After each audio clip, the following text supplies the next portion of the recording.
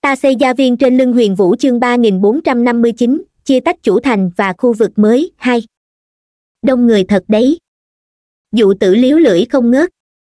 Cô kéo chồng đi tới trước sa bàn, quan sát một căn nhà lầu, phát hiện đây là một khu nhà ở cao tầng, tổng cộng có mười sáu căn nhà lầu. Trình mâu nhìn về phía bản thông tin giới thiệu bên cạnh, trên đó viết thông tin về giá cả của nhà lầu và loại phòng. Nhà lầu cao nhất có sáu mươi mét, tổng cộng mười tầng mỗi một tầng đều có sáu căn nhà, phân phối cầu thang và thang vận chuyển. Hình như có chút nhỏ. Dụ tử cao mày nói. Khu dân cư này chỉ có một loại phòng là hai phòng ngủ, một phòng khách, một phòng vệ sinh và một bếp. Nếu chỉ có một mình tiếu tiếu ở thì vậy cũng đủ rồi. Trình mâu nhắc nhở. Cũng đúng, chỉ có một mình tiếu tiếu ở. Lông mày nhíu lại của dụ tử giãn ra, lại nhìn về phía xa bàn, nghi ngờ nói mặt trên cột dây thừng đỏ là để làm gì? Trên mô hình sa bàn có treo dây thừng đỏ, liếc mắt một cái là có thể thấy được. Nơi nào được buộc dây thừng đỏ, có nghĩa là căn nhà đó đã bị bán mất. Một nhân viên đi ngang qua nghe vậy nhắc nhở một câu. Nhanh như vậy à? Dụ tử trừng to hai mắt, trên sa bàn có không ít dây thừng đỏ rực. Nhân viên kia cười nói. Ngày hôm nay có rất nhiều người đến mua nhà, những tầng tốt đều sắp bị chọn xong rồi nhất là những phòng ở cao tầng, đều đã bị người khác mua trước rồi, đối phương thậm chí còn không thèm đi xem phòng ở. Không được, chúng ta cũng đi xem thử đi, nếu thích hợp thì mua nơi này. Dụ tử quay đầu nhìn về phía chồng mình. Được, nghe lời ngươi. Trình mâu cười gật đầu. Nhân viên phục vụ nghe vậy thì nhiệt tình hỏi. Hai vị muốn xem tòa nhà nào? Xem thử phòng tám trăm linh sáu tòa nhà số sáu đi dụ tử suy nghĩ một chút rồi nói. Được, mời đi theo ta. Nhân viên phục vụ mỉm cười, giơ tay ra hiệu hai người đuổi theo. Dụ tử và trình mâu vội vàng đi theo, ba người rời khỏi văn phòng mua bán bất động sản đi vào trong khu nhà ở, đi về phía tòa nhà lầu số sáu. Trên đường, nhân viên phục vụ bắt đầu giới thiệu hiện huống của căn nhà. Các phòng ở tại đây đều là phòng trống chưa lắp đặt gì, cho nên một lát nữa chúng ta phải đi bằng cầu thang bộ sau này có người tới lắp đặt thang vận chuyển sẽ nhẹ nhàng hơn nhiều. Dụ tử hỏi. Phòng trống à sau này còn phải tự chúng ta trang hoàng sao? Nhân viên phục vụ gật đầu nói. Đúng vậy, các ngươi có thể tự trang hoàng hoặc cũng có thể giao cho chúng ta, nhưng giá phòng cũng sẽ đắt hơn ba phần. Giao cho bọn họ sẽ đắt hơn ba phần, vậy thì tự mình lắp đặt thiết bị sẽ có lời hơn. Trình mâu thấp giọng nói. Dụ tử gật đầu đồng ý cô cảm thấy vẫn là càng ít nợ càng tốt.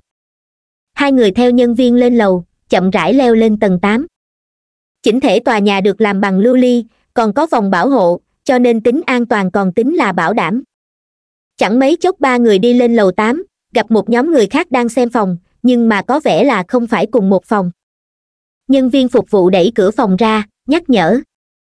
Đây là căn phòng có mặt hướng chủ thành, ở trên sân thượng có thể nhìn thấy thánh thụ nếu các ngươi thích thì mua sớm đi, nếu không sẽ bị người khác mua mất. Dụ tử và trình mâu lên tiếng, đi vào phòng kiểm tra hoàn cảnh nơi đây. Bởi vì nhà lầu là do một lương dùng lưu ly nhất thể thành hình, trong phòng không tồn tại bụi bặm và rác rưởi kiến trúc hoặc nhìn chỉnh tề sạch sẽ rất nhiều. Cộc cộc cộc. Dụ tử nhìn quanh gian phòng một vòng, cất bước đi về phía ban công, ngước mắt lên là có thể nhìn thấy thế giới thụ.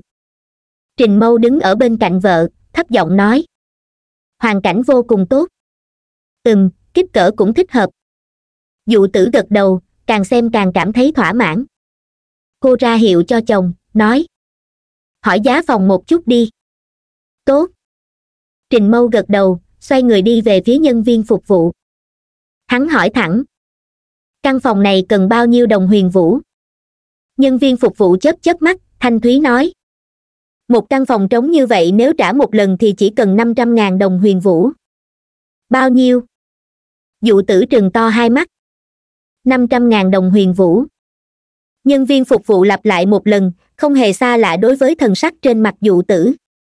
Hôm nay hắn đã dẫn theo không dưới hai mươi người đến xem phòng, sau khi nghe thấy giá phòng đều là phản ứng giống như dụ tử. Dụ tử nuốt nước miếng một cái, nhìn về phía chồng, nói, quá mắc, mua không nổi nhân viên phục vụ nhắc nhở. Hai vị có thể mua nhà trả góp, chỉ cần trả trước năm mươi đồng huyền vũ, còn lại chia kỳ bốn mươi năm, mỗi tháng trả một chút là được. Trình mâu chậm rãi nói. Mua nhà trả góp à nghe vậy có vẻ chúng ta vẫn có thể mua được. Nhân viên phục vụ tiếp tục nói. Nếu như ngươi là nhân viên chính phủ thì mua nhà còn được hưởng rất nhiều ưu đãi, đồng thời sẽ không thu thêm lợi tức khi mua trả góp. Đôi mắt đẹp của dụ tử sáng lên, hỏi phó vệ trưởng khu chủ thành có tính là nhân viên chính phủ không? Đương nhiên là tính rồi. Nhân viên phục vụ cười đáp. Dụ tử quay đầu nhìn về phía chồng, đôi mắt đẹp lập tức sáng ngời. Lúc này trình mâu mới nhớ tới phúc lợi đãi ngộ của mình đúng thật là có ưu đãi mua nhà được giảm phần trăm, chỉ là trước đây hắn chưa bao giờ nghĩ đến việc mua nhà, cho nên nhất thời hắn không nghĩ tới. Dụ tử thấp giọng hỏi. Chúng ta gửi ngân hàng có năm mươi đồng huyền vũ phải không? Nhiều hơn thế. Trình mâu công khóe môi lên đáp. Hắn là phó vệ trưởng của khu chủ thành, quản lý mỗi một tuần cảnh vệ trong vệ thành, lương bổng mỗi tháng đã tăng tới năm đồng huyền vũ, chớ đừng nhắc tới các loại đãi ngộ phúc lợi khác. Trên thực tế, nếu trình mâu bán đi một vài phúc lợi thì đừng nói mua một căn nhà, mua hai, ba căn nhà cũng không phải nói chơi. Chỉ là không có ai sẽ bán đi phúc lợi của mình, bởi vì bán đi thì dễ dàng, muốn đạt được lại vô cùng khó dụ tử do dự, hỏi. Vậy chúng ta mua không? Cộc cộc cộc tiếng bước chân ngoài cửa vang lên, một nhóm người khác đến xem phòng. Ta nói với các ngươi, hễ là căn phòng hướng về phía chủ thành đều bán rất chạy, khu đông thành chính là như vậy. Người còn chưa tới gần thì dụ tử và trình mâu đã nghe được giọng nói của một vị nhân viên phục vụ khác đang thúc đẩy tiêu thụ. Trình mâu không hề nghĩ ngợi, lập tức nói với nhân viên phục vụ. Ta muốn mua căn nhà này làm thủ tục đi. Nhân viên phục vụ nghe vậy nhếch miệng cười, gật đầu nói. Được rồi, mời hai vị đi làm thủ tục với ta. Vị nhân viên phục vụ khác vừa định bước vào thì trợn tròn mắt, quay đầu bất đắc dĩ nói với vị khách của mình. Các ngươi tới chậm rồi, căn phòng ở này đã được bán. A. Vậy ngươi mau dẫn chúng ta đi xem lầu bảy. Người đàn ông mua nhà thúc giục liên tục. Dụ tử và trình mâu nhìn nhau cười một tiếng theo nhân viên phục vụ rời khỏi tòa nhà số sáu. Ba người trở lại văn phòng mua bán bất động sản, ngồi xuống gian phòng trống tại lầu ba. Nhân viên phục vụ lấy ra một chồng văn kiện, đưa cho hai người rồi nói. Đây là những điều cần biết để mua nhà và văn kiện mà các ngươi phải chuẩn bị.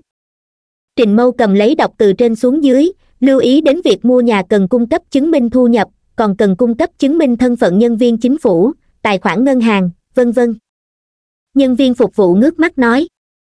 Căn phòng tám trăm linh sáu tòa nhà số sáu sẽ được giữ lại cho các vị trong hai ngày. Xin hãy chuẩn bị xong những văn kiện này trong thời gian này, sau đó lại mang tiền tới giao là được.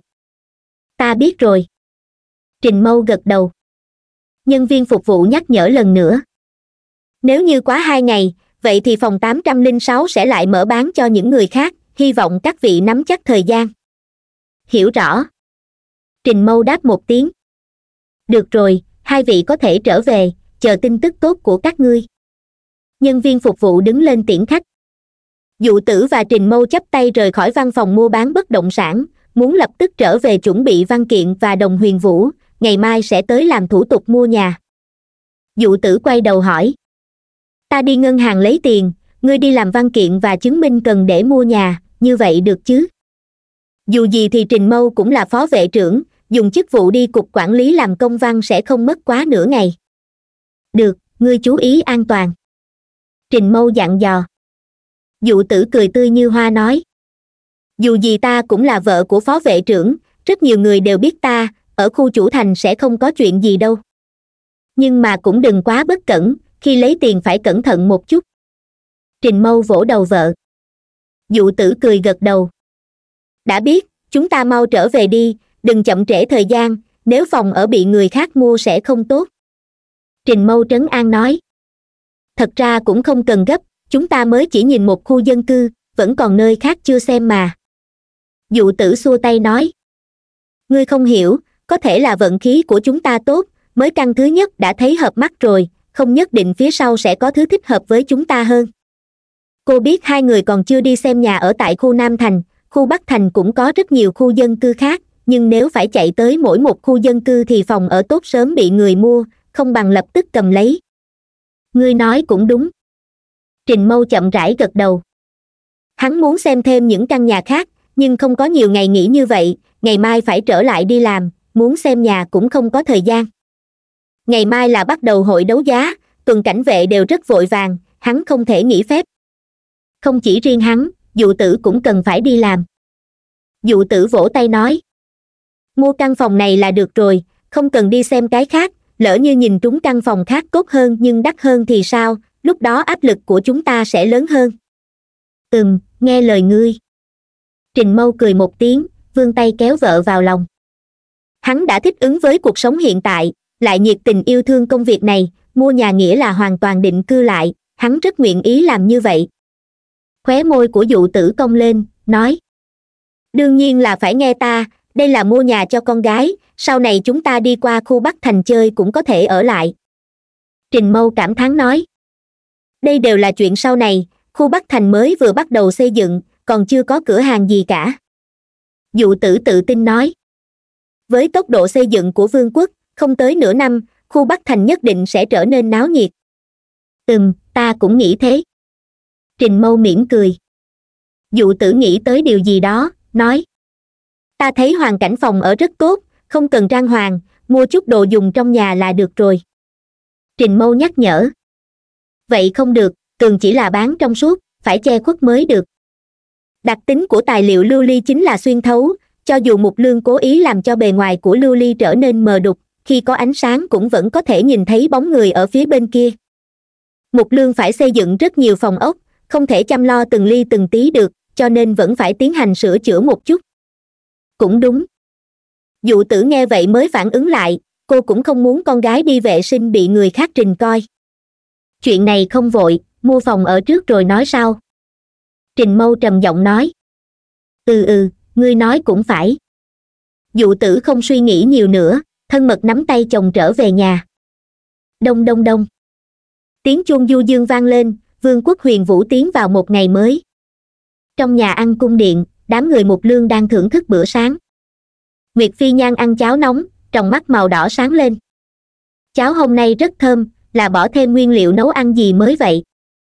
Cho thêm chút ốc khô hải sản. Ba phù giải thích. Vương quốc huyền vũ ở trong biển, hải sản có thể nói là cung ứng không hạn chế, chỉ là lúc vớt cần phải chú ý an toàn, tránh bị ma thú biển công kích. Khi bối kỳ ngây thơ nói. Mùi vị rất tốt nguyệt thấm lan gật đầu đồng ý, nhìn về phía mục lương nói. Hội đấu giá bắt đầu từ chín giờ, ngươi đừng bỏ lỡ thời gian. Mục lương gật đầu, dịu dàng hỏi. Đã biết, ngươi có đi không? Nguyệt thấm lan lắc đầu nói. Ta và hồ tiên không đi được, cũng không phải lần đầu tiên tổ chức hội đấu giá, người phía dưới đều biết làm như thế nào. Cô và cô gái đuôi hồ ly đều mang thai, bụng đã hiển lộ rất rõ ràng, không tính đi nơi người nhiều hỗn tạp lần này linh nhi làm người chủ trì, ta có thể nghỉ ngơi. Hồ tiên cười quyến rũ một tiếng. Bụng của cô còn to hơn cả nguyệt thấm lan, không thích hợp làm người chủ trì nữa, công việc này đã bị linh nhi vui vẻ nhận lấy, vì thế mấy ngày nay, cô gái đuôi hồ ly đều dạy cô gái tinh linh làm thế nào khống chế lòng người, làm cho các khách mời móc ra đồng huyền vũ đấu giá nhiều hơn. Linh nhi tràn đầy phấn khởi vương nắm đấm nhỏ quơ quơ qua lại, ngây thơ nói ta sẽ vét sạch đồng huyền vũ và tinh thạch ma thú trong túi bọn họ. Mục lương cười một tiếng, gật đầu nói. Ừm, ngươi sẽ làm được. Linh nhi cười tươi như hoa.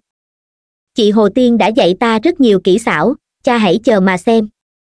Tốt. Mục lương cười đáp một tiếng. Hắn nhìn về phía cô gái ưu nhã, ôn hòa hỏi. Trại chăn nuôi bên vương quốc lục phong dạo gần đây thế nào rồi? Nguyệt thấm lan ưu nhã đáp có tân tây ở bên kia, tất cả đều rất tốt, ta đã lần lượt sắp xếp người vận chuyển ma thú qua đó.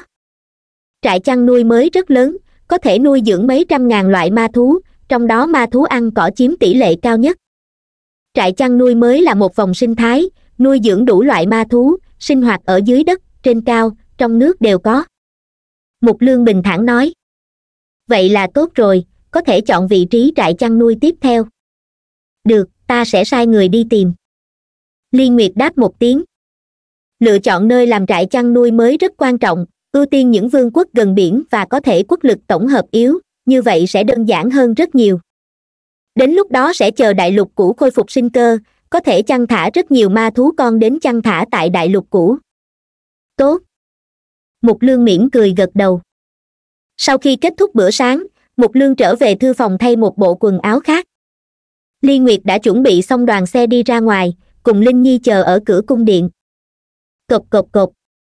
Mục lương đi ra khỏi cung điện, lên xe cùng với đám người ly nguyệt, đi thẳng đến đại hội đường ở chủ thành. Trên đường chính, số lượng xe hơi nhiều hơn ngày xưa không ít, tất cả đều là đi về phía đại hội đường. Linh nhi nhìn ra ngoài cửa sổ xe, thanh thúy hỏi. Cha, bọn họ đều là đi tham gia hội đấu giá sao? Ừm, sinh mệnh trà quá có sức mê hoặc. Mục lương ôn hòa nói linh nhi như suy nghĩ gì đó rồi gật đầu, ngây thơ nói. Cha yên tâm, ta sẽ vét sạch túi của bọn họ. Mục lương dở khóc dở cười, quay đầu hỏi. Ngươi học những từ này với ai hả? Chị hồ tiên, cô ấy dạy. Vẻ mặt của linh nhi nghiêm túc đáp. Mục lương liếu lưỡi, hỏi. Ngươi cảm thấy hứng thú với việc kinh doanh à? Linh nhi suy nghĩ tỉ mỉ một chút, lắc đầu nói. Không có hứng thú chỉ là cảm thấy chơi rất vui. Mục lương thở vào nói. Ngươi coi như là vui đùa một chút đi, thích gì thì cứ nếm thử. Tốt. Linh nhi cười nói gật đầu. Rất nhanh, đội xe dừng lại trước cửa đại hội đường, hộ vệ trung ương nhanh chóng đứng thành hai hàng trái và phải, chừa một lối đi đến cửa vào. Mấy người mục lương xuống xe, đi vào đại hội đường trong ánh mắt cung kính và hâm mộ của dân chúng. Hình như bệ hạ lại đẹp trai hơn rồi không ít dân chúng si mê cảm thán. Đúng vậy, ta cũng muốn làm nữ nhân của bệ hạ. Ban ngày ban mặt, bớt mơ mộng đi. Trong một mảnh tiếng bàn tán, dân chúng lưu luyến không rời mà tản ra, biết hội đấu giá sẽ không kết thúc trong khoảng thời gian ngắn, mọi người đều đi làm việc của mình. Trong đại hội đường, đám người mục lương lên tầng ba, nơi đó có phòng riêng chỉ thuộc về quốc vương, có thể nhìn bao quát toàn bộ đại hội đường. Cọt kẹt. Cửa phòng riêng bị đóng lại diêu nhi đi theo bước nhanh về trước, kiểm tra sofa và bàn trà một lần, xác định không có vấn đề gì mới lấy ra khay đựng trái cây và các loại bánh ngọt, chẳng mấy chốc đã bày đầy bàn. Mục lương ngồi dựa lưng trên ghế sofa, khoảng cách hội đấu giá bắt đầu còn có nửa giờ, phía dưới cũng đã có không ít người ngồi. Diêu nhi lấy ra dụng cụ pha trà, bắt đầu thuần thục pha trà, chẳng mấy chốc mùi trà nồng đậm đã tràn đầy toàn bộ phòng riêng. Cha, ta đi chuẩn bị đây. Linh nhi nói mục lương bình thản lên tiếng. Đi thôi, ta chờ mong biểu hiện của ngươi. Tốt. Linh nhi cười phất tay một cái, xoay người bước chân nhẹ nhàng rời khỏi phòng riêng. Không lâu sau, bên trong đại hội đường vang lên tiếng ca êm tai, là biểu diễn trước khi hội đấu giá bắt đầu. Người tiến vào nhà đấu giá càng ngày càng nhiều, đã ngồi đầy không còn ghế trống. Mục lương uống trà nóng, vỗ vỗ tay của cô gái tóc trắng, nói, người phía dưới đã an bài xong chưa? Ừm, nhóm ni cắt sa và ngải lị na đều ở đây. Ly nguyệt gật đầu một cái. Trong đại hội đường, người của bộ đội đặc chủng u linh đã đến một phần ba, trong sáng ngoài tối đều có, là vì đề phòng có chuyện bất ngờ xảy ra. Hai mắt của mục lương hiện lên một tia lạnh lẽo, bình tĩnh nói. Hy vọng những kẻ không mắt kia có thể thanh tĩnh một chút, nơi này cũng không phải là nơi bọn hắn ra tay. Khó mà nói được, sinh mệnh trà quá hấp dẫn đối với bọn họ ly nguyệt lạnh nhạt đáp. Kẻ không mắt mà hai người nhắc tới đương nhiên là bất hủ chúng, bọn họ cực kỳ si mê với trường sinh. Sinh mệnh trà cấp hai và cấp một có công hiệu tăng tuổi thọ, trải qua tuyên truyền thì quý tộc và các phú thương đều biết, người của bất hủ chúng ta đương nhiên cũng sẽ biết. Tốt nhất đều tới, một lưới bắt hết mới tốt. Mục lương hơi nghiêng đầu, lòng bàn tay ở bên cạnh trán, mang trên mặt nụ cười nhạt nhẽo vương quốc huyền vũ chưa từng dừng lại việc quét sạch bất hủ chúng, bọn họ vẫn đang lùng sục các viện nghiên cứu trường sinh khác. Vương quốc còn lại đều cho một lương đủ mặt mũi, cũng đang hỗ trợ quét sạch người của bất hủ chúng. Đương nhiên, mặt mũi bề ngoài là phải cho, bọn họ cũng không dám không cho. Điều này làm cho thành viên của bất hủ chúng còn sống giống như chuột chạy qua đường, mỗi ngày đều cục đuôi sinh rất sợ bị người khác phát hiện. Người ẩn núp trong bóng tối quá nhiều phía sau khẳng định có không ít quý tộc đang ủng hộ. Ly nguyệt nhíu mày nói. Mục lương kéo tay cô gái tóc trắng, trấn an. Muốn hoàn toàn thanh trừ bất hủ chúng là chuyện không dễ dàng, đây nhất định là trận đánh lâu dài, từ từ sẽ đến thôi. Ta biết, nhưng có thể càng sớm thì càng tốt. Ly nguyệt nắm thật chặt tay nam nhân. Ừ. Khóe môi của mục lương cong lên. Hắn có nhiều thời gian, có thể chơi với bất hủ chúng đông đông đông. Tiếng chuông chín giờ sáng vang lên, tiếng ca trong đại hội đường cũng biến mất, hội đấu giá sắp bắt đầu. Đông đông đông. Tiếng chuông qua đi, bên trong đại hội đường yên tĩnh lại, mấy cây đèn chiếu sáng được cố định chung quanh lập tức tập trung ánh sáng vào sân khấu. Cộp cộp cộp tiếng bước chân thanh thúy vang lên, một bóng dáng xinh đẹp từ phía sau đài đi ra, tiến vào trong tầm mắt của các khách mời. Hở? Mấy giọng nói kinh dị vang lên lăng hương trừng to hai mắt đẹp, nhìn chăm chú vào thiếu nữ trên đài cao, đôi môi hồng há ra rồi khép lại mấy lần. Tại sao lại là cô ấy làm chủ trì? Linh vận cũng kinh ngạc thốt lên. Hai người đi theo cha ngồi ở hàng ghế đầu, chung quanh bọn họ chính là nhóm quốc vương của các vương quốc khác. Lần đấu giá này không mở ra những phòng riêng còn lại, chính là vì hấp dẫn sự chú ý của bất hủ chúng, làm cho bọn họ biết người thu được sinh mệnh trà là ai, là phương pháp dẫn rắn ra động linh nhi đứng ở giữa đài cao, nhìn quét các khách mời, giòn giả nói. Xin chào mọi người, ta là người chủ trì buổi đấu giá này, tin tưởng rất nhiều người đều đã nhận ra ta. Biết, là công chúa linh nhi. Có người lên tiếng trả lời, là con trai của một vị phú thương. Linh nhi mỉm cười gật đầu, trong trẻo nói. Hẳn là có không ít người ngồi ở đây đã tham gia hội đấu giá lần trước, nhưng mà cũng có người mới tới, hiện tại mời các vị đọc thuộc quy tắc của buổi đấu giá để tránh thời gian tiếp theo trái với quy định bị mời ra ngoài. Các khách mời trước khi vào đại hội đường sẽ thu được một trang giấy, mặt trên viết điều lệ quy tắc của hội đấu giá. Nghe được lời này, có một số khách mời lật xem tờ quy định, có người lại không thèm quan tâm, trên mặt hiện lên vẻ khinh thường. Hắn muốn mở miệng thúc giục bắt đầu hội đấu giá, nhưng thấy các quốc vương khác đều không nói gì, hắn đành phải im lặng không muốn làm chim đầu đàn. Đã đọc xong quy tắc, hiện tại hội đấu giá chính thức bắt đầu khóe môi của linh nhi cong lên, liếc nhìn phòng riêng ở phía trên. Cô thu tầm mắt lại, quay đầu nói. Tiếp theo mời vật phẩm đấu giá thứ nhất lên đài. Cộp cộp cộp chẳng mấy chốc đã có nhân viên đi lên sân khấu, đặt một cái hòm gỗ lớn ở trên đài. Linh nhi ra hiệu nhân viên mở rương gỗ rồi lấy ra đồ vật bên trong, triển lãm trước mặt các khách mời. Đó là một vật hình cầu, mặt ngoài được bao phủ bởi một tầng thép tím, bề mặt được khắc hoa văn phức tạp giống như hình ảnh của ma pháp trận, quả cầu chỉ lớn bằng nắm đấm của người trưởng thành. Đây là cái gì? Có người thắc mắc hỏi. Đừng nóng vội, nghe ta giới thiệu. Linh nhi cười nói rất tự nhiên. Cô cầm lấy quả cầu, trình diễn toàn phương vị cho khách mời xem, giới thiệu. Đây là một quả cầu không gian truyền tống, khi sử dụng có thể truyền tống người dùng đi xa ba nghìn mét, có thể sử dụng năm lần, là vật phẩm tốt khi cần chạy trốn. Xôn xao không ít người kinh ngạc thốt lên, đôi mắt trợn to nhìn chằm chằm viên cầu trong tay cô gái tinh linh. Nhất là một ít phú thương, bọn họ đều nóng mắt nhìn lên sân khấu, quả cầu không gian truyền tống có thể bảo toàn tính mạng, rất thích hợp bản thân và người nhà sử dụng. Lại có người lên tiếng hỏi, cái này chỉ có ma pháp sư mới có thể sử dụng sao? Linh nhi lắc đầu đáp, đương nhiên không phải, bất cứ ai cũng có thể sử dụng, cho dù là người thường thì cũng có thể một phú thương lớn tiếng hỏi. Một lần có thể truyền tống bao nhiêu người thế? Một lần ba người. Linh nhi cười tươi như hoa nói. Lăng hương chớp chớp mắt đẹp, quay đầu lại nói. Cha, ta muốn cái này. Được thôi. Tề nhĩ nạp đáp lời ít mà ý nhiều. Khóe miệng của linh vận giật giật, cô cũng rất thích quả cầu không gian truyền tống kia, nhưng nghe thấy bạn thân muốn, cô đành bỏ đi ý niệm đấu giá trong đầu linh nhi ra hiệu nói. Ma pháp cầu không gian truyền tống chỉ có một viên, giá khởi điểm một trăm ngàn đồng huyền vũ, mỗi lần tăng giá không được thấp hơn một nghìn đồng huyền vũ, bây giờ có thể ra giá. Giá khởi điểm đã là một trăm ngàn đồng huyền vũ rồi à.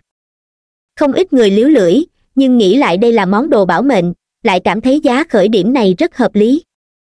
Tề nhĩ nạp bình chân như vậy, không lập tức đấu giá, hiển nhiên đã hiểu được cách vận hành của hội đấu giá một trăm năm mươi phẩy không không không đồng huyền vũ. Một giọng nói lạnh lùng vang lên, một vị vương tử mặc trang phục quý tộc giơ lên thẻ số trong tay. Giá tiền này vừa ra, toàn trường yên tĩnh mấy giây. Linh nhi thanh thúy hỏi. Khách mời số ba mươi lăm ra giá một trăm năm mươi phẩy không không không đồng huyền vũ, còn có ai cao hơn không? Trong phòng riêng liên nguyệt lạnh nhạt nói. Là tam vương tử của vương quốc hậu diện vương quốc hậu diện là một nơi chật hẹp nhỏ bé, đứng hàng thứ năm từ dưới đến lên trong bảng xếp hạng các vương quốc. Đây chỉ là món ăn khai vị. Khóe môi mục lương hơi cong lên, chờ mong giá sau cùng của vật phẩm đấu giá thứ nhất. một trăm năm mươi ba phẩy không không không. Có người giơ thẻ số trong tay lên. một trăm năm mươi lăm phẩy không không không. Đây là do một vị phú thương bắt đầu đấu giá. Vương tử vương quốc hậu diện trầm giọng hô hai trăm phẩy không không không. Tên hộ vệ phía sau nhắc nhở. Điện hạ, mục tiêu lần này của chúng ta là sinh mệnh trà, không nên lãng phí đồng huyền vũ ở đây. Câm miệng. Tam vương tử lạnh giọng quát. Dù gì thì hắn cũng là một vị vương tử, những tên thương nhân kia dám đấu giá với hắn hắn cảm thấy là bọn họ đang khinh thường mình. Trong lòng hộ vệ kêu khổ, nếu không phải quốc vương bảo hắn nhìn chằm chằm tam vương tử không cho hắn tùy tiện tiêu tiền thì hắn còn lâu mới lên tiếng nhắc nhở. Có vẻ như tay phú thương nhất định phải bắt lấy quả cầu không gian truyền tống kia, ra giá luôn cao hơn tam vương tử một nghìn đồng. Đáng chết, ngươi muốn đối nghịch với ta à? Tam vương tử đứng dậy gầm lên. Tên phú thương bụng vệ sửng sốt một chút, đen mặt nói. Ta chỉ đấu giá bình thường thôi, làm sao lại là đối nghịch với ngươi được? Ngươi biết ta là ai không? Tam vương tử vương quốc hậu diệm hỏi với ngữ khí âm trầm. Đáy mắt của linh nhi hiện lên tia lạnh lẽo, lạnh nhạt nói. Cảnh báo một lần, khách mời số ba mươi lăm không được nhiễu loạn buổi đấu giá. Quy tắc của hội đấu giá đã viết rất rõ ràng, bất kỳ hình thức uy hiếp những khách mời còn lại đều thuộc về hành vi vi phạm quy định, sẽ bị mời ra khỏi buổi đấu giá. Không được, ta chính là vương tử. Tam vương tử vương quốc hậu diện tức giận mở miệng. Linh nhi vung tay lên một mảnh ánh sáng xanh bao phủ lấy tam vương tử, ngay sau đó hắn biến mất tại chỗ, phạm vi xung quanh lập tức hoàn toàn yên tĩnh. Trong phạm vi bao phủ của thế giới thụ, chỉ cần không mạnh bằng cô, ngoại trừ một lương ra thì bất kỳ ai cũng sẽ bị cô khống chế, dù sao thì quy tắc thế giới của vương quốc huyền vũ cũng là do cô chế định. Đồ ngốc, khẳng định là không đọc quy tắc hội đấu giá rồi. Phú thương biểu môi. Người luôn tự cho mình là đúng những người mới tới luôn là không biết thân phận của mình. Hội đấu giá tiếp tục, hiện nay giá cao nhất là hai trăm ba mươi đồng huyền vũ. Linh nhi mỉm cười tiếp tục, giống như vừa rồi không hề xảy ra chuyện gì cả. Lăng hương há miệng, trong lòng cả kinh nói. Cô ấy thật là lợi hại phất tay một cái người đã không thấy tâm hơi, hắn đã chết rồi sao? Hẳn là không phải, dù gì thì người nọ cũng là vương tử, hẳn là bị trục xuất khỏi đại hội đường thôi linh vận suy đoán nói. Sự thật đúng là như thế, lúc này tam vương tử của vương quốc hậu diện đang kêu gào ở bên ngoài đại hội đường, không hề có chút dáng vẻ nào của vương tử. Được rồi, ngươi nói có lý. Lăng hương liếu lưỡi. Ánh mắt của tề nhĩ nạp lóe lên, lần đầu tiên giơ lên thẻ số trong tay. Hai trăm năm mươi ngàn đồng huyền vũ. Hắn lên tiếng làm cho các quốc vương và quý tộc khác đều động lòng dùng dập dơ lên thẻ số mười phút sau, giá cao nhất là năm trăm hai mươi ngàn đồng huyền vũ, thành công bị tề nhĩ nạp mua được. Cha, giá tiền này có chút không đáng nha. Lăng hương buồn bực nói. Chỉ cần ngươi thích, bao nhiêu cũng không sao. Tề nhĩ nạp không thèm để ý mà phất tay, năm trăm hai mươi ngàn đồng huyền vũ đối với hắn mà nói giống như chín trâu mất sợi lông. Năm mươi hai viên tinh thạch ma thú cấp năm mà thôi, đổi một món ma cụ cao cấp có thể bảo toàn tính mạng với hắn mà nói cũng không thiệt chỉ là khoảng cách truyền tống hơi ngắn một chút. Cha ba. Linh nhi vỗ tay một cái, mỉm cười nói. Vật phẩm đấu giá thứ hai là một món ma cụ, tên là liệt diễm mâu, thuộc về ma cụ cao cấp loại cao cấp. Ma cụ và linh khí vương quốc huyền vũ rất nổi tiếng trong và ngoài nước, điều này làm cho rất nhiều người biết được trong cấp bậc của ma cụ cũng có phân chia tốt xấu. Ma cụ cao cấp được chia làm bốn đẳng cấp từ thấp đến cao là sơ đẳng, trung đẳng, cao cấp và siêu đẳng trong đó, ma cụ sơ đẳng và trung đẳng có thể mua được ở trân bảo lâu chỉ là giá cả cực kỳ sang quý, mà ma cụ cao cấp, siêu đẳng chỉ có thể mua được trong hội đấu giá. Ma cụ cao cấp loại cao cấp à vừa vặn thiếu một món vũ khí tiện tay. Nam nhân có thân hình to lớn mặc áo da thú lộ ra ánh mắt nóng bỏng. Hàng phong đã từng là kỵ sĩ trưởng của một đoàn kỵ sĩ, sau đó dưới cơ duyên xảo hợp đi theo thương đội, bây giờ phát triển cả thương lẫn võ mua ma cụ cao cấp hoàn toàn không có áp lực. Không ít người cảm thấy hứng thú đối với ma cụ cao cấp, đều nắm chặt thẻ số trong tay sẵn sàng dơ lên. Phải biết rằng, ma cụ cao cấp loại cao cấp bây giờ chỉ có vương quốc huyền vũ lấy ra bán, bên ngoài chỉ có thể mua được ma cụ cao cấp loại thông thường, nhưng phẩm chất hay các phương diện khác đều không sánh nổi ma cụ cùng đẳng cấp do vương quốc huyền vũ sản xuất. Ma cụ cao cấp vốn dĩ đã ít, cho dù là đại lục mới có nhiều vương quốc như vậy nhưng số lượng ma cụ cao cấp vẫn hiếm hoi vô cùng. Cha, muốn đấu giá không? Lăng hương quay đầu lại hỏi. Tề nhĩ nạp suy nghĩ một chút, lắc đầu nói. Thôi thôi, ma cụ cao cấp loại hình công kích nhà chúng ta đã có rồi. Cha. Linh vận cũng liếc mắt nhìn cha mình, trên mặt lộ ra thần sắc dò hỏi. Ước mổ cũng lắc đầu nói. Chúng ta cũng không cần, vật phẩm đấu giá sau này mới quan trọng. Cũng đúng linh vận ngây thơ gật đầu, chỉ cần không tham gia đấu giá thì thể xác và tinh thần đều có thể trở nên buông lỏng. Linh nhi giơ tay lên ra hiệu, trong trẻo nói. Liệt diễm mâu, giá khởi điểm một trăm vạn đồng huyền vũ, mỗi lần tăng giá không được thấp hơn năm mươi ngàn, hiện tại bắt đầu đấu giá. Giá khởi điểm cao như vậy sao? Có một số phú thương kinh ngạc thốt lên. Người gần đó liếc nhìn phú thương vừa lên tiếng, trào phúng nói. Cái giá này còn tạm được hội đấu giá lần trước thành giao ma cụ cao cấp loại cao cấp, ta nhớ giá cuối cùng đã sấp xỉ ba trăm vạn đồng huyền vũ. Ừm, giá cuối cùng lần này, ít nhất phải là gấp hai lần. Có người gật đầu đáp lại một câu. Phú thương liếu lưỡi không thôi, dập tắt ý niệm đấu giá trong đầu. Một triệu rưỡi đồng huyền vũ. Một giọng nói trong trẻo lạnh lùng vang lên, hấp dẫn sự chú ý của mọi người. Người có trí nhớ tốt đã nhận ra thân phận của người đấu giá không khỏi thốt lên.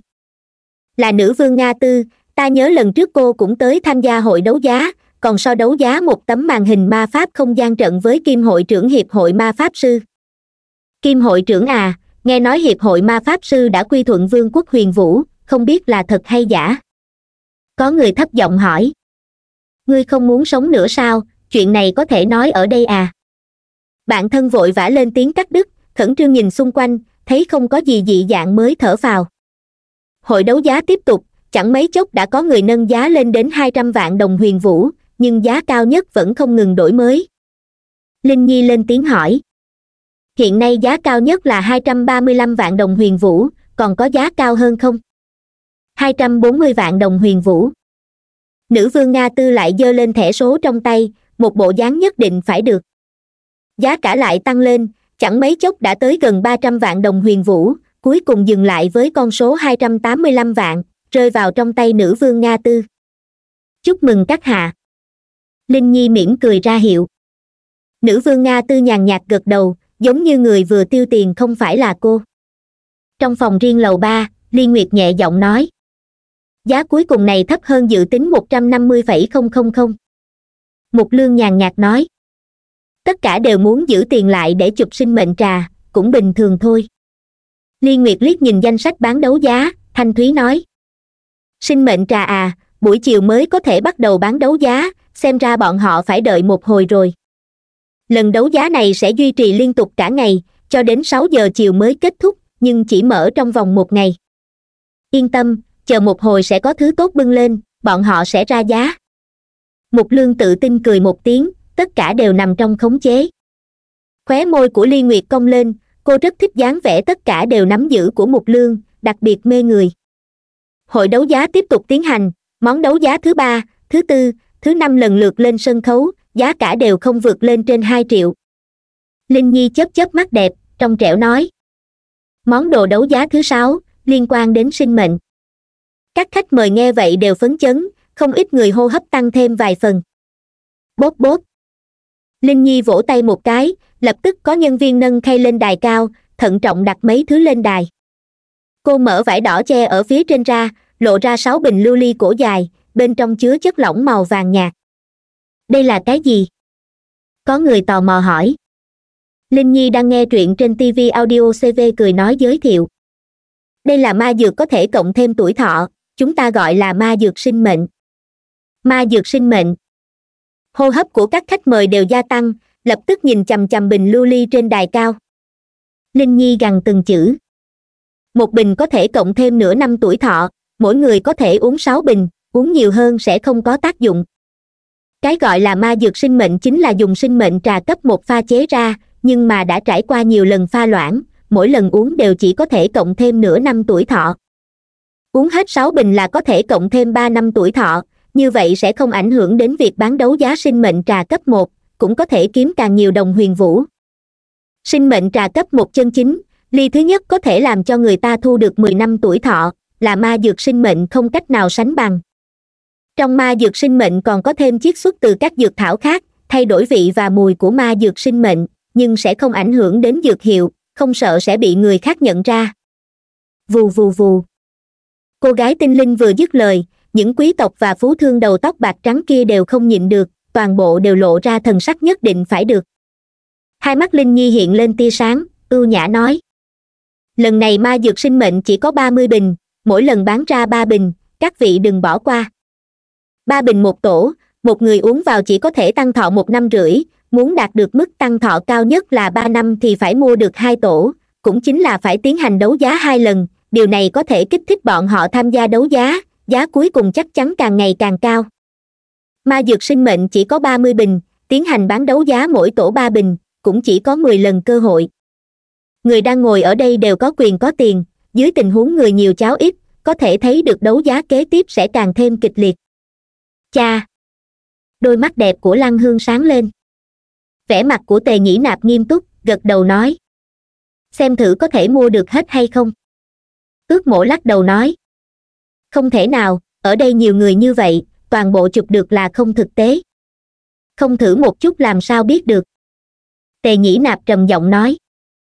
Ma dược có thể cộng thêm tuổi thọ vốn dĩ đã ít, mỗi lần đấu giá đều bán không giống nhau, lần này có bán lần sau chưa chắc sẽ xuất hiện lại. Hắn còn nhớ ma dược được bán ra ở hội đấu giá lần trước cũng là có thể cộng thêm tuổi thọ, nhưng lần đấu giá này lại không có. Linh nhi giòn giả nhắc nhở đúng rồi, sau khi dùng những ma dược này sẽ không có bất kỳ tác dụng phụ nào, mời các vị yên tâm uống.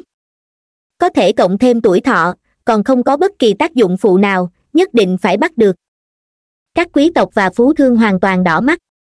Linh nhi cầm lấy một bình ma dược sinh mệnh lắc lắc, mỉm cười nói. Tiến hành bán đấu giá ba bình một tổ, giá khởi điểm là ba trăm ngàn đồng huyền vũ, mỗi lần tăng giá không được thấp hơn năm mươi ngàn. Gần như là cô vừa dứt lời tiếng đấu giá lập tức vang lên. Nữ vương nga tư lạnh lùng nói. năm trăm ngàn đồng huyền vũ. sáu trăm ngàn đồng huyền vũ. Đây là vị tráng hán xuất thân thương võ kia. bảy trăm ngàn đồng huyền vũ. một trăm vạn. Giá cao nhất không ngừng đổi mới, trong tình huống mọi người đều biết là người nhiều cháo ít, đương nhiên là muốn mua được ma dược sinh mệnh ngay từ lúc vừa bắt đầu. Liên nguyệt chắc lưỡi nói chỉ là một bình sinh mệnh trà cấp một pha loãng đã có thể tranh đoạt thành bộ dáng này, buổi chiều đấu giá sinh mệnh trà không phải đánh ra giá trên trời sao? Bình tĩnh, chuyện này không tính là gì? Mục lương bình tĩnh đè tay của cô gái tóc trắng lại. Bởi vì rất nhiều thương phẩm của vương quốc huyền vũ bán đi khắp nơi, rất nhiều vương quốc kiếm được tiền, hơn nữa phần lớn lợi nhuận đều cho vương thất, quý tộc và phú thương ăn, trên thực tế bọn họ đều vô cùng giàu có dù sao thì mỗi lần đặt hàng đều là mấy thuyền mấy thuyền vận chuyển, chiếm cứ nhân tố địa lợi nhân hòa, khấu trừ ra chi phí vận chuyển và tiền mua hàng, cho dù cao thêm vài lần cũng không sợ không bán được. Diêu nhi thanh thúy nói, có thể cộng thêm tuổi thọ, đối với những người sắp chết kia mà nói, chẳng khác gì là thần dược cứu cấp. Chỉ cần có thể sống sót, tốn bao nhiêu đồng huyền vũ đều là đáng giá. Mục lương cười nhạt một tiếng. Hắn hơi nghiêng đầu, nói nếu không sau này chết những tài sản kia cũng không liên quan gì đến hắn, còn không bằng tiêu hết sạch mua chút ma dược tăng tuổi thọ. Cũng đúng. Liên nguyệt như suy nghĩ gì đó rồi gật đầu. Nhưng ma dược có thể tăng tuổi thọ không phải là ai cũng có, chí ít trước mắt chỉ có vương quốc huyền vũ lấy ra ma dược tăng thọ, hơn nữa còn không có chút tác dụng phụ nào. Mỗi lần tổ chức hội đấu giá giá cao nhất vĩnh viễn là vật phẩm có thể tăng tuổi thọ, đánh ra giá cao nhất là một giọt nước suối sinh mệnh một lương bình chân như vậy nói. Những người này đều rất thông minh, nếu như ngay từ đầu không thể mua được ma dược sinh mệnh thì giá của mấy tổ sau chỉ biết càng ngày càng cao. Càng cao càng tốt, dù sao cũng sẽ không bị thua thiệt. Liên nguyệt khẽ cười một tiếng, đặt lại lực chú ý trên đài đấu giá phía dưới. Linh nhi mấy lần mở miệng đều không chen vào được một câu, giá cao nhất vẫn luôn đang đổi mới, không cần cô mở miệng báo giá, chẳng mấy chốc sẽ có người nâng giá lên hai triệu tám trăm ngàn đồng huyền vũ. Nữ vương nga tư tiền muôn bạc biển vung tay lên. ba trăm vạn đồng huyền vũ. Tề nhĩ nạp cắn răng hô. Nữ vương nga tư không hề nghĩ ngợi thốt lên. ba trăm mười vạn. Tề nhĩ nạp do dự một chút, đây chỉ là phần ma dược sinh mệnh thứ nhất, phía sau còn có chín phần, thật sự cần thiết tranh nhau không? Ước mổ liếc nhìn hắn, nhàn nhạt nói. Không phải ngươi nói muốn mua hết toàn bộ sao? Tề nhĩ nạp khẽ cắn môi, tiếp tục đấu giá. ba trăm hai mươi vạn đồng huyền vũ. ba trăm ba mươi vạn. Nữ vương nga tư không thay đổi sắc mặt tiếp tục ra giá. Cha, chờ phần tiếp theo đi. Lăng hương vội vàng nói. Ai? Tề nhĩ nạp thở dài một tiếng. ba trăm vạn đồng huyền vũ đối với hắn hiện tại mà nói không coi vào đâu, chỉ là phía sau còn có thứ quan trọng hơn, không thể quá lãng phí đáy mắt của linh nhi hiện lên vẻ đáng tiếc, ngước mắt nhìn xung quanh hỏi. Hiện nay giá cao nhất là ba trăm ba mươi vạn đồng huyền vũ, còn ai ra giá cao hơn không? Không ít khách mời đều do dự, ba trăm ba mươi vạn đối với phần lớn người mà nói không coi vào đâu, nhưng bọn hắn đều nhìn chằm chằm vật phẩm đấu giá buổi chiều, đồng ý tưởng với tề nhĩ nạp. Đông. Linh nhi thầm than một tiếng, giơ búa lên hạ xuống. Cô nhìn về phía nữ vương nga tư, mỉm cười nói chúc mừng các hạ, phần ma dược sinh mệnh thứ nhất là của ngươi. Nữ vương nga tư bình tĩnh gật đầu, làm cho người ta không nhìn ra cô đang suy nghĩ cái gì. Linh nhi ngước mắt mỉm cười nói. Tiếp theo, bán đấu giá phần ma dược sinh mệnh thứ hai. Ba trăm vạn đồng huyền vũ. Nữ vương nga tư vẫn là người đầu tiên mở miệng đấu giá, một câu đã nâng giá năm trăm ngàn lên đến gấp sáu lần. T. Không ít người phát ra âm thanh hút khí lạnh dập tắt ý niệm đấu giá trong đầu, cũng rõ ràng ma dược sinh mệnh phía sau đều sẽ có giá cả không thấp hơn ba trăm vạn đồng huyền vũ. ba trăm mười vạn. Tề nhĩ nạp lại thử đấu giá lần nữa, nữ vương nga tư lạnh giọng mở miệng. ba trăm hai mươi vạn. ba trăm ba mươi vạn. Ước mổ cũng giơ thẻ số trong tay lên, hắn cũng rất là mắt thèm ma dược sinh mệnh. ba trăm bốn mươi vạn. Nữ vương nga tư không chút do dự mà tiếp tục ra giá những vị khách còn lại khẽ cắn môi, cũng có mấy vị ra giá, nâng phần ma dược sinh mệnh thứ hai lên đến bốn triệu đồng huyền vũ. Đáy mắt của linh nhi hiện lên vẻ bất ngờ, nhìn về phía nữ vương nga tư, nói. Chúc mừng các hạ, đã nhận được phần ma dược sinh mệnh thứ hai. Nữ vương nga tư lộ ra nụ cười đoan trang, nhẹ gật đầu xem như là đáp lại. Thật sự là một nữ nhân điên rồ. Ước mổ biểu môi nói. Tề nhĩ nạp trấn an đừng nóng vội, còn có tám phần nữa mà. Tiếp theo sẽ đấu giá phần ma dược sinh mệnh thứ ba. Linh nhi vung tay lên, ma dược sinh mệnh mới được bưng lên đài triển lãm. Ba trăm vạn đồng huyền vũ.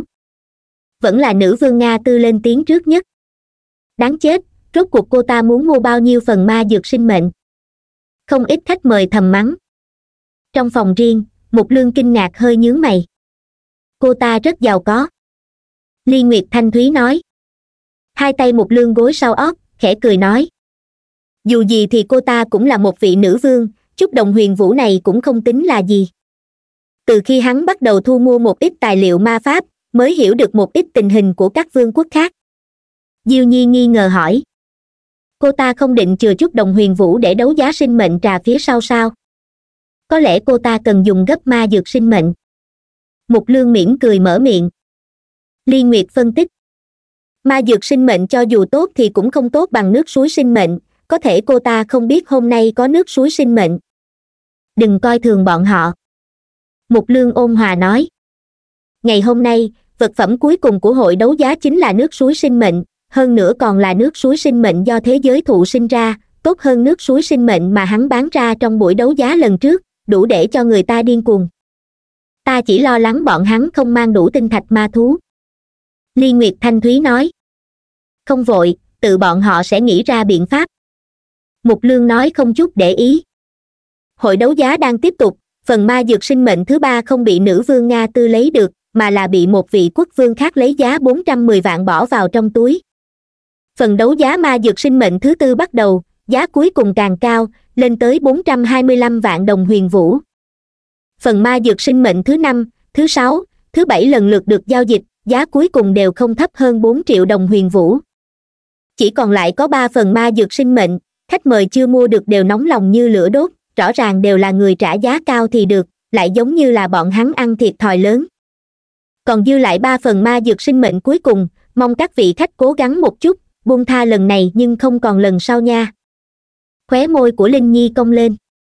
Chờ bọn họ uống qua sinh mệnh trà cấp một, sao lại còn muốn mua ma dược sinh mệnh nữa? Vừa nghe được lời này, khách mời do dự đều giống như hạ quyết tâm, cuối cùng cạnh tranh ba phần sinh mệnh ma dược càng kịch liệt hơn. Chẳng mấy chốc, ba phần sinh mệnh ma dược cuối cùng thuận lợi đấu giá thành công, đều không ngoại lệ rơi vào trong túi áo các quốc vương lớn. Trên mặt tề nhĩ nạp và ước mổ lộ ra thần sắc đau khổ, cuối cùng vẫn là mỗi người chụp một phần ma dược sinh mệnh. Chỉ là lấy được với giá cả sấp xỉ năm triệu, so với phần ma dược sinh mệnh thứ nhất thì đắt hơn một triệu ước mổ nói với giọng điệu lành lạnh. Còn nói mua hết toàn bộ đâu, kết quả chỉ mua được một phần. Tề nhĩ nạp co giật khóe miệng, buồn bực nói. Những người này đều quá điên cuồng. Sớm biết vậy ta nên cạnh tranh ba phần ma dược trước đó rồi. Ước mổ thở dài một tiếng. Không ai biết trước được sau đó sẽ trở thành như vậy. Tề nhĩ nạp biểu môi. Cha, ngươi mua ma dược sinh mệnh là định cho ta uống sao? Lăng hương chớp đôi mắt đẹp hỏi. Tề nhĩ nạp liếc con gái một cái, nghiêm mặt nói. Bây giờ không cần, chờ sau này cần dùng gấp thì lại lấy ra dùng. Thứ này có thể trở thành nội tình của vương quốc, hoặc là giao dịch nội bộ để đổi lấy càng nhiều lợi ích hơn. Ồ. Lăng hương biểu môi. Vật phẩm đấu giá tiếp theo cũng là ma dược ma dược có thể làm cho người ta thanh xuân vĩnh trú. Linh nhi thanh thúy lên tiếng. Tổng cộng có sáu phần chúng ta sẽ tiến hành bán đấu giá từng phần một, giá khởi điểm đều là năm trăm ngàn đồng huyền vũ, mỗi lần tăng giá không được thấp hơn mười ngàn đồng. Vừa nghe được lời này, đôi mắt đẹp của tất cả khách nữ ở đây đồng loạt sáng lên, nữ vương nga tư cũng không ngoại lệ. Bốn chữ vĩnh bảo thanh xuân đủ để làm cho các cô điên cuồng. năm trăm ngàn đồng huyền vũ. Nữ vương nga tư lại ra giá lần nữa. Cha, ta muốn. Lăng hương và linh vận đồng thời nhìn về phía cha của mình tốt. Tề nhĩ nạp dứt khoát đáp một tiếng, giơ lên thẻ số trong tay bắt đầu đấu giá. Ước mổ cười nói. Lão huynh, phần này ta không tham gia, phần tiếp theo ngươi phải nhường ta đấy. Được thôi. Tề nhĩ nạp gật đầu một cái. Còn phải cho mẹ một phần nữa. Lăng hương nhỏ giọng nhắc nhở. Tề nhĩ nạp nói với giọng điệu nghiêm túc. Vậy thì mua hai phần. Cạnh tranh lại trở nên kịch liệt lần nữa phần ma dược vĩnh bảo thanh xuân thứ nhất có giá cao nhất dừng ở hai triệu ba trăm năm mươi ngàn đồng huyền vũ, rơi vào trong tay nữ vương nga tư. Phần ma dược thứ hai có giá sau cùng là hai triệu năm trăm ngàn đồng huyền vũ, bị ước mổ mua được. Tề nhĩ nạp rất phiền muộn, dùng hai triệu sáu trăm ba mươi ngàn đồng huyền vũ mua được phần ma dược thứ ba. Phần ma dược thứ tư và thứ năm vẫn cạnh tranh kịch liệt như trước, tề nhĩ nạp và ước mổ đều là người sủng thê lần lượt lấy hai trăm bốn mươi lăm ngàn và hai trăm sáu mươi lăm ngàn đồng mua được phần ma dược thứ tư và thứ năm. Hai người bọn họ mỗi người mua được hai phần ma dược làm một đám khách mời bất mãn, nhưng không ai dám biểu hiện ra bên ngoài, sợ bị mời ra phòng đấu giá. Cạnh tranh phần ma dược cuối cùng càng kịch liệt hơn, giá cả tăng vọt, cuối cùng lấy ba trăm bốn mươi vạn đồng huyền vũ rơi vào trong tay một vị nữ vương khác. Trong phòng vip mục lương lắc đầu cười, cảm thán nói, quả nhiên tiền của nữ nhân dễ kiếm hơn nam nhân nhiều. Chế tạo ma dược vĩnh bảo thanh xuân rất đơn giản, nhưng tài liệu mấu chốt là nước mắt thiên sứ và chất lỏng của thế giới thụ, người khác không thể chế tạo được. Ly nguyệt gật đầu từ chối cho ý kiến, đúng là nữ nhân sẽ có lúc vì một ít sự vật xinh đẹp mà tiêu tiền như nước, ví dụ như thẩm mỹ viện ở vương quốc huyền vũ, một ngày kiếm một trăm ngàn đồng huyền vũ đều tính là ít. Hội đấu giá đang tiếp tục, từng món đồ đấu giá thuận lợi thành giao đến nay còn chưa có vật phẩm bị lưu lại. Vật phẩm đấu giá đủ loại kiểu dáng, ma cụ, linh khí, ma dược, quyển trục ma pháp trận, vân vân, đều làm cho các khách mời điên cuồng. Khóe môi của linh nhi cong lên, trong trẻo nói. Còn dư lại ba vật phẩm đấu giá cuối cùng, ta tin tưởng rất nhiều người đều đến đây vì bọn nó. Hô hấp của các khách mời đều dồn dập, trên mặt mang theo vẻ chờ mong. Bốp bốp. Linh nhi vỗ tay, ưu nhã nói đồ vật đấu giá tiếp theo là sinh mệnh trà cấp hai, uống thường xuyên có thể kéo dài tuổi thọ, nếu như mỗi ngày đều uống một ly là có thể tăng thọ ba trăm năm. Ba trăm năm. Hô hấp của các khách mời dồn dập, trong đầu chỉ còn lại chữ tăng thọ ba trăm năm. Linh nhi vương tay quơ quơ, mỉm cười nói. Lần này, sinh mệnh trà cấp hai bán đấu giá chỉ có sáu cân, chia làm sáu phần, giá khởi điểm mỗi lần là sáu trăm vạn đồng huyền vũ. A, hình như cũng không quá đắt lăng hương chớp chớp mắt. Một lạng sinh mệnh trà cấp ba có giá năm trăm ngàn đồng huyền vũ, mà một cân sinh mệnh trà cấp hai có giá khởi điểm mới sáu trăm vạn đồng huyền vũ, so sánh hai bên thì giá này cũng không đắt lắm. Khóe mắt của tề nhĩ nạp giật một cái, trầm giọng nói. Đây chỉ là giá khởi điểm, giá cuối cùng ít nhất cũng phải tăng gấp mấy lần. T. Lăng hương nghe vậy hít một hơi khí lạnh, tăng gấp đôi chính là mười hai triệu đồng huyền vũ, nếu là gấp ba thì sao? Một cân sinh mệnh trà cấp hai, nếu tiết kiệm một chút thì có thể uống được một đoạn thời gian. Ước mổ khẽ nhíu mày lẩm bẩm. Hắn nhìn về phía tề nhĩ nạp, nghiêm túc nói. Bất kể như thế nào thì ngươi và ta cũng phải mua được một cân mới được.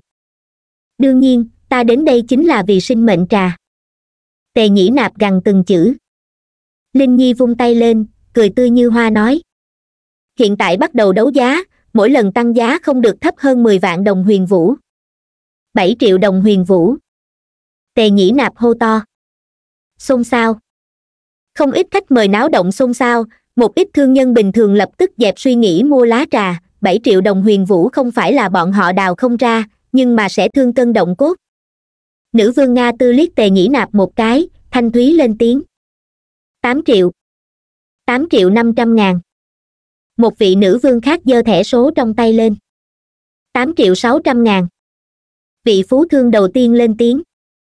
Ở đây có không ít thương nhân, có mấy vị thân gia có thể nói là phú khả địch quốc, nắm trong tay toàn bộ việc buôn bán của vương quốc, là sự tồn tại làm cho vương thất cũng phải kiên kỵ. Chín triệu đồng huyền vũ. Vị phú thương thứ hai bắt đầu đấu giá, làm cho không ít vương thất quý tộc đều ghé mắt. Lăng hương tò mò hỏi. Hắn là ai? Tề nhĩ nạp nhàn nhạt đáp. Người cầm quyền hiện tại của cửa hàng phan lạc lăng hương ngạc nhiên nói.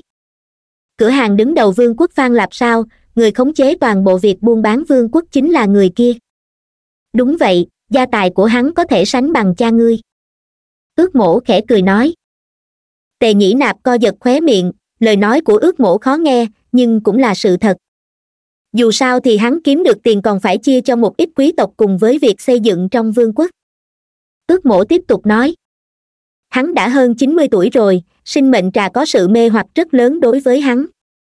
Phần sinh mệnh trà này có thể chúng ta sẽ không thể cạnh tranh thắng hắn. Tề nhĩ nạp lắc đầu thở dài nói. Không riêng một phần này đâu, ngươi cảm thấy một cân đủ uống à? Vẻ mặt của ước mổ nghiêm túc. Không đủ. Ánh mắt của tề nhĩ nạp lạnh xuống. Với tài lực của cửa hàng phan lạp, đối phương hoàn toàn có thể mua hết sáu cân sinh mệnh trà. Ước mổ lắc đầu, bình tĩnh phân tích hắn không thể làm như vậy, trừ phi hắn muốn là kẻ địch của tất cả quốc vương và quý tộc ở đây. Cũng đúng, có tiền mua nhưng cũng phải có mệnh dùng đã. Ánh mắt của tề nhĩ nạp lóe lên. Ra khỏi vương quốc huyền vũ, không ai có thể đảm bảo mình sẽ không bị nhắm vào. Cha! Ý của ngươi là? Lăng hương trừng to hai mắt đẹp. Tề nhĩ nạp giơ tay lên vỗ đầu con gái, tức giận nói. Nghĩ gì vậy, ta sẽ không làm chuyện giết người cướp của nhưng những người khác thì khó mà nói trước được. Mười triệu đồng huyền vũ. Giọng nói già nua của người cầm quyền cửa hàng phan lạp vang vọng toàn bộ nhà đấu giá. Bên trong phòng đấu giá rơi vào yên lặng vài giây, nhưng chẳng mấy chốc lại có người bắt đầu thét giá. Mười triệu năm trăm ngàn. Một vị quản lý cửa hàng khác lên tiếng. Hừ. Lão giả cửa hàng phan lạp hừ lạnh một tiếng, tiếp tục nói. Mười một triệu ánh mắt của tề nhĩ nạp lóe lên, nói. mười ba triệu đồng huyền vũ. Cha. Lăng hương không khỏi trừng to hai mắt đẹp nhìn cha mình. Ta có chừng mực. Tề nhĩ nạp trầm giọng mở miệng. mười ba triệu năm trăm ngàn. Lão giả cửa hàng phan lạp nói với vẻ mặt không thay đổi. Tề nhĩ nạp và ước mổ đều trầm mặt, giá tiền này đã tăng lên gấp đôi so với giá khởi điểm. mười bốn triệu một giọng nói già nua khác vang lên. Ước mổ quay đầu nhìn lại liếu lưỡi nói. Lại một vị lão bản cửa hàng siêu cấp khác. Cửa hàng mặt phỉ không kém hơn cửa hàng phan lạp. Vẻ mặt tề nhĩ nạp trầm xuống, trong lòng có loại dự cảm xấu, sinh mệnh trà cấp hai giống như càng ngày càng xa hắn. 15 triệu. Lão bản cửa hàng phan lạp tiếp tục ra giá. Lão bản cửa hàng mặt phỉ theo sát phía sau, giá cả lại lần nữa nâng lên một triệu đồng huyền vũ càng nhiều khách mời giữ yên lặng, từ bỏ tham gia cạnh tranh với bọn họ. Đôi mắt đẹp của linh nhi công công tay ngọc khẽ quơ một cái, nói. Hiện nay giá cao nhất là 16 triệu đồng huyền vũ, còn có ai ra giá cao hơn không? Lão giả cửa hàng phan lạp trầm mặt một lát, cuối cùng lựa chọn từ bỏ, dù sao thì phía sau còn có năm phần sinh mệnh trà.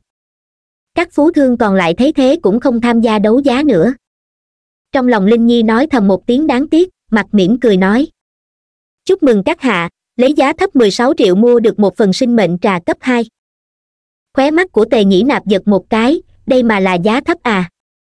Lão bản cửa hàng mặt phỉ khẽ giật khóe miệng, mặt không thay đổi gật đầu một cái, xem như là đáp lại lời chúc mừng của cô gái tinh linh. Tiếp theo là đấu giá phần sinh mệnh trà thứ hai, các vị hãy ra giá đi.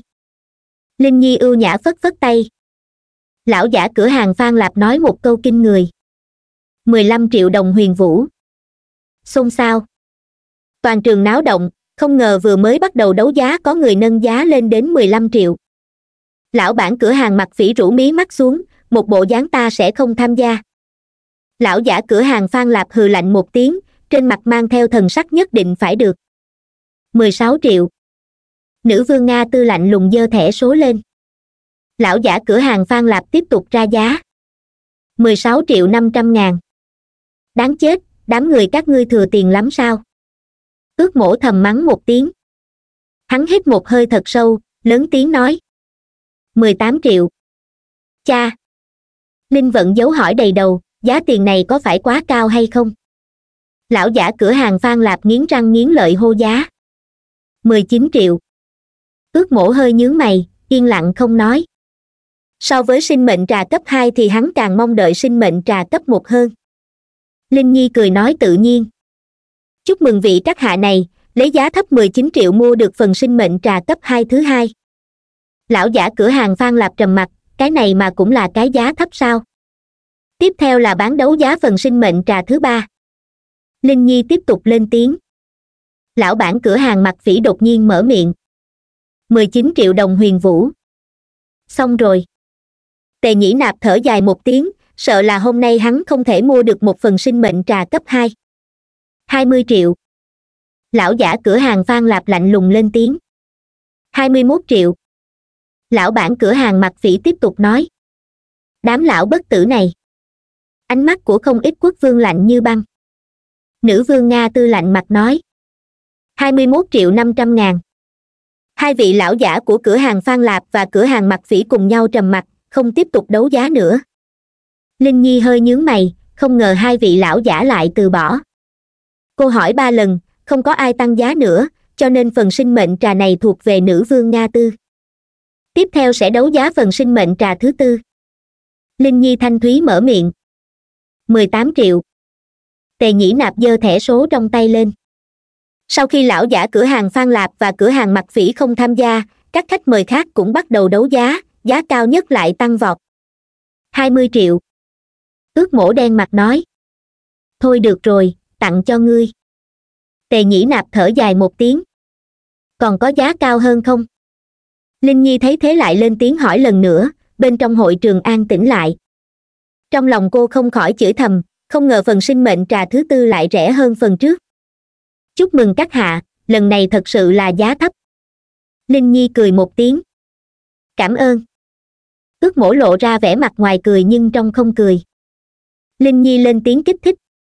Sau đây là hai phần sinh mệnh trà cấp hai cuối cùng, những ai muốn mua xin hãy nắm chắc cơ hội, kế tiếp bán đấu giá phần sinh mệnh trà thứ năm. Trong lòng các khách mời căng thẳng dùng dập bắt đầu đấu giá, chỉ chốc lát sau đánh vỡ kỷ lục giá cao nhất.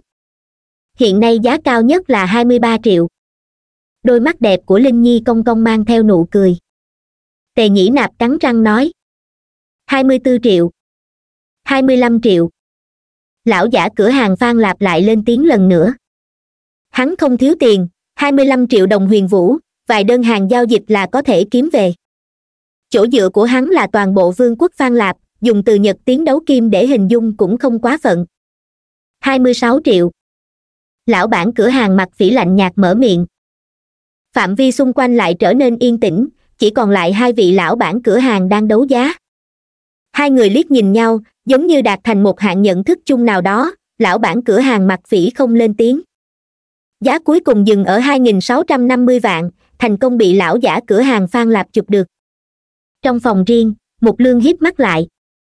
Liên nguyệt suy nghĩ một chút, lạnh nhạt nói. Bọn họ chắc chắn đã đạt thành hiệp nghị, cửa hàng phan lạp sẽ không tham gia đấu giá phần sinh mệnh trà thứ sáu, tương đương với nhường cho cửa hàng mặt phỉ. Ừ một lương lạnh nhạt gật đầu. Chẳng mấy chốc tới phiên đấu giá phần sinh mệnh trà thứ sáu, kết quả cũng giống như suy nghĩ của cô gái tóc trắng, bị lão bản cửa hàng mặt phỉ mua được với giá 25 triệu đồng huyền vũ. Ai? Tề nhĩ nạp thở dài một tiếng. Hắn định bấm bụng tiếp tục đấu giá, nhưng thân là quốc vương hắn phải suy nghĩ tới nhiều nhân tố hơn. Giọng nói trong trẻo của linh nhi vang lên. Bán đấu giá sinh mệnh trà cấp hai kết thúc kế tiếp sẽ tiến hành bán đấu giá sinh mệnh trà cấp một, cũng là vật phẩm đấu giá đến ngược thứ hai trong ngày hôm nay. Cuối cùng cũng tới rồi. Tề nhĩ nạp nghe vậy lập tức lấy lại tinh thần. Linh nhi khẽ gật đầu, nói một câu kinh người. Lá sinh mệnh trà cấp một, uống một ngụm là có thể tăng thọ mười năm. Xôn xao. Toàn trường lại xôn xao không thôi, bọn họ đều biết sinh mệnh trà cấp hai và sinh mệnh trà cấp một có sự khác biệt về chất nhưng mà không ngờ lại khác biệt lớn như vậy. Linh nhi lại tung ra một tin tức nặng ký. Uống ngụm thứ nhất có thể tăng thọ mười năm, tiếp tục uống cũng không dừng lại mười năm, lại pha trà thêm một lần nữa còn có thể tăng thọ năm năm. Tề nhĩ nạp trợn to hai mắt, hỏi. Cũng chính là uống hai ly trà, thấp nhất cũng có thể tăng thọ mười lăm năm. Linh nhi nói một câu kinh người. Đúng vậy, ít nhất cũng có thể tăng thọ mười lăm năm người thỉnh thoảng uống cũng có thể kéo dài tuổi thọ một ngàn năm. Còn có thể nghiệm chứng được tuổi thọ hay không thì phải xem tài lực của mỗi nhà. Xôn xao. Lời của cô gái tinh linh làm cho toàn trường lại náo động, ánh mắt sáng quắc nhìn chằm chằm cô, có người bởi vì kích động thậm chí biến đến đỏ mặt tía tai. Một ngàn năm, cha. Lăng hương kích động nhìn về phía cha. Tề nhĩ nạp đè nén sự kích động trong lòng xuống, nói với ngữ khí nặng nề nói là nói như vậy, nhưng có thể mua được hay không còn là một chuyện khác. Ước mổ thở dài nói. Đúng vậy, ngươi xem đám người có cửa hàng kia kìa, ai bằng lòng đồng ý buông tha chứ? Lăng hương tỉnh táo lại, nhìn về phía lão bản cửa hàng mặt phỉ và cửa hàng phan lạp. Lúc này hai người đã đứng lên, đôi mắt gắt gao nhìn chằm chằm đài cao, nhân viên đã bưng sinh mệnh trà cấp một lên. Không chỉ riêng hắn, các phú thương và quý tộc khác cũng như vậy tất cả đều không che giấu khát vọng đối với sinh mệnh trà cấp một. Khóe môi của linh nhi hơi cong lên, rất hài lòng biểu hiện của mọi người. Cô vương ba ngón tay quơ quơ, gằn từng chữ một. Sinh mệnh trà cấp một chỉ có ba cân, chia thành ba lần bán đấu giá, một lần là một cân, tổng cộng chỉ có ba phần. Ít như vậy à? Nữ vương nga tư nhíu mày lại. Thứ này uống một ly là có thể tăng thọ mười năm, ngươi muốn có bao nhiêu? Linh nhi nghe vậy hỏi ngược lại. Nữ vương nga tư khẽ giật khóe miệng, gật đầu nói. Hiểu rồi. Các vị ngồi xuống trước đi, đấu giá sẽ bắt đầu. Linh nhi vung tay ngọc lên nói. Các khách mời nghe vậy mới hoàn hồn, đè xuống sự kích động trong lòng ngồi trở lại, chỉ là đều nắm chặt thẻ số đấu giá trong tay. Linh nhi thanh thúy nói. Hiện tại bắt đầu bán đấu giá phần sinh mệnh trà cấp một thứ nhất, giá khởi điểm hai mươi triệu đồng huyền vũ mỗi lần tăng giá không được thấp hơn một triệu đồng huyền vũ. T. Không ít người hít sâu một hơi, không ngờ giá khởi điểm lại là hai mươi triệu đồng huyền vũ. Ước mổ thấp giọng nói. hai mươi triệu chỉ là bắt đầu, lần này giá cuối cùng sẽ là giá trên trời. Tề nhĩ nạp trầm giọng nói. Một cân sinh mệnh trà cấp hai đã là hai mươi lăm triệu rồi, sinh mệnh trà cấp một tốt hơn đương nhiên phải tăng gấp bội. hai mươi ba triệu lão bản cửa hàng mặt phỉ tài đại khí thô lên tiếng. Lão giả cửa hàng phan lạp trầm giọng mở miệng. Hai mươi lăm triệu. Uống hai ly là có thể sống lâu mười lăm năm, chỉ cần mấy chục triệu đồng huyền vũ, đối với mấy người sắp chết này mà nói là rất đáng giá. Ba mươi triệu. Lão bản cửa hàng mặt phỉ gằn từng chữ. T. Âm thanh hít khí lạnh liên tiếp vang lên ba mươi triệu đồng huyền vũ tương đương với ba viên tinh thạch ma thú chí tôn hoặc là sáu viên tinh thạch ma thú vương giai. Thế mà ở trong miệng những vị phú thương này 30 triệu đồng huyền vũ giống như chỉ là một chuỗi chữ số không có tác dụng gì. Lão giả cửa hàng phan lạp quay đầu nhìn chầm chầm vào lão bản cửa hàng mặt phỉ ánh mắt kia giống như muốn nuốt sống đối phương. Chú ý cử chỉ của ngươi. Linh nhi lạnh lùng nhắc nhở. Lão giả cửa hàng phan lạp hít một hơi thật sâu giơ lên số hiệu trong tay. ba mươi hai triệu. ba mươi lăm triệu. Lão bản cửa hàng mặt phỉ nhàn nhạt lên tiếng. ba mươi sáu triệu. Lão giả cửa hàng phan lạp cắn răng nói. Lão bản cửa hàng mặt phỉ vẫn bình tĩnh như trước, lên tiếng. ba mươi bảy triệu. Đám người tề nhĩ nạp trầm mặt nghe từng tiếng báo giá vang lên bên tai, chỉ chốc lát sau đã vượt qua bốn mươi triệu đồng huyền vũ. Tề nhĩ nạp, không thử cạnh tranh một chút à? Ước mổ quay đầu hỏi. Tề nhĩ nạp thở dài. Chờ bọn họ dừng lại rồi nói. Ước mổ dự đoán nói. Có thể sẽ lên đến sáu mươi triệu đồng huyền vũ. Nếu như chỉ là sáu mươi triệu một cân thì ta có thể mua một cân. Tề nhĩ nạp chậm rãi nói. Một cân sinh mệnh trà có thể pha được ít nhất là hai mươi lần, chia ra uống cũng có thể làm cho hai mươi người sống lâu hơn mười lăm năm. Ước mổ lắc đầu. Hắn chậm rãi thở ra một hơi tiếc nuối nói. Sinh mệnh trà như vậy mà chỉ bán sáu mươi triệu đồng huyền vũ, điều này không quá thực tế. Tề nhĩ nạp lại yên lặng lần nữa, sinh mệnh trà cấp một và sinh mệnh trà cấp hai có chất lượng quá khác biệt, cái trước chỉ cần uống ly trà thứ nhất là có thể tăng thọ mười năm, cái sau cần uống thường xuyên mới có thể kéo dài tuổi thọ. Nếu khác nhau như vậy, quyết định giá cả sẽ là một trời một vực. Ước mổ suy nghĩ một chút, quay đầu nói. Chúng ta có thể hợp tác cùng nhau mua được một phần sinh mệnh trà, mỗi người nửa cân. Đôi mắt của tề nhĩ nạp chậm rãi sáng lên, nửa cân sinh mệnh trà đã đủ hắn và người nhà uống, mọi người đều có thể tăng thọ mười lăm năm. Có thể. Hắn nghiêm mặt gật đầu.